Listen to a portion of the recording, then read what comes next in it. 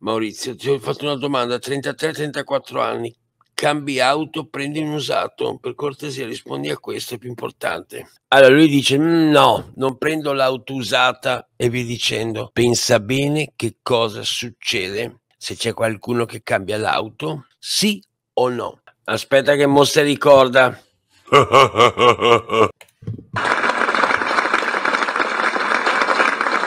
Avevo o non avevo ragione?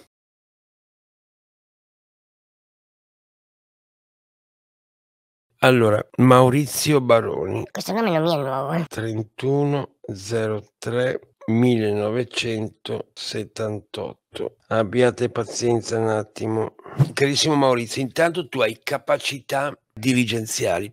Attenzione, non vuol dire io ho la capacità di coordinare 100 uomini, 3 uomini, 20 uomini, non è questo. È fatemi lavorare a modo mio, nessuno superi il confine del mio spazio sacro che io vi porto il risultato, ma devo essere lasciato in autonomia. Nel momento in cui non ti lasciano lavorare in autonomia, tu potresti anche scalciare perché tu vuoi sempre l'evoluzione. Poi va detta una cosa che hai un forte conflitto di abbandono che ti porti da- dalla nascita, ma è ereditato come conflitto ti porti questo conflitto di abbandono. Dicevo, a parte che è sparso a destra e a sinistra, a la verità, però c'è una persona che non so se è un fratello di tua mamma ed eventualmente di maggiore età o sorella, non so se tua mamma abbia fratelli o sorelle. E questa persona ha vissuto un conflitto di abbandono talmente tanto forte che ti dicevo, o la persona è morta o ha vissuto eh,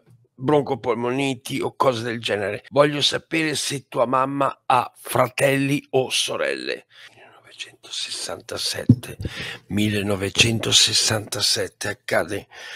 Allora, 1967 tu non eri ancora nato. Accade un fatto pesante, una persona distesa, un fatto pesante. Allora, qui ho scritto quanti sono i figli della nonna di lui, nonna materna.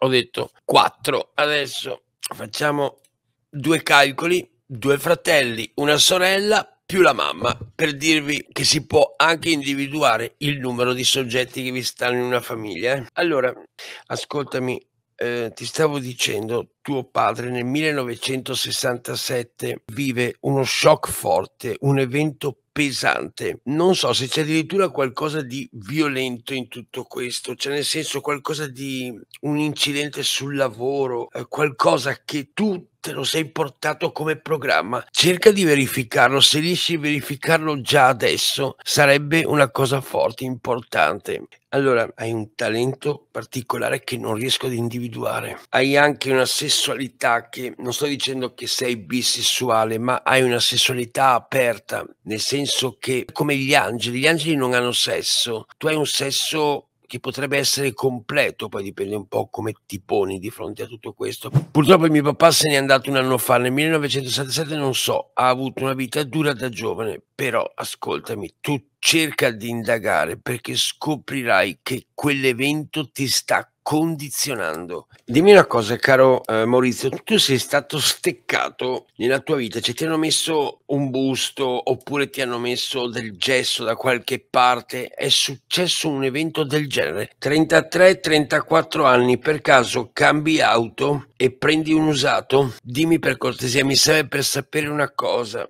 33-34 anni, se cambi auto e compri un usato, ti dico io che anno era, 1978 più 33, era tra il 2011 e il 2012. In poche parole, vedeva, lascia stare quello che, che vedeva tuo papà da questo punto di vista, porta pazienza, Maurizio. Ti ho fatto una domanda, 33-34 anni, cambi auto, prendi un usato, per cortesia rispondi a questo, è più importante. Ok, allora, sì, gesso, ok, quindi, allora, perché ti spiego, hai ancora il gesso che ti ha eh, scioccato a livello fisico. È ancora come se tu avessi una struttura condizionata da quel gesso che ti ha come bloccato, ha come manifestato un blocco. Non lo vedo tanto nella nascita, sinceramente. Gamba destra, ok, va bene, però io ti ho chiesto 33-34 anni se hai cambiato auto, hai preso un usato. Correva l'anno 2011-2012 Allora lui dice: "Mhmm, no, non prendo l'auto usata", e via dicendo. Pensa bene che cosa succede 33, 34 anni. Se c'è qualcuno che cambia l'auto, okay, io te l'ho detto proprio specifico, sì o no, perché c'è una preoccupazione per un investimento, nessun cambio d'auto, guarda lo pubblico senza problemi, perché c'è un investimento, un movimento di soldi, qualcosa o al contrario una perdita, una svalutazione?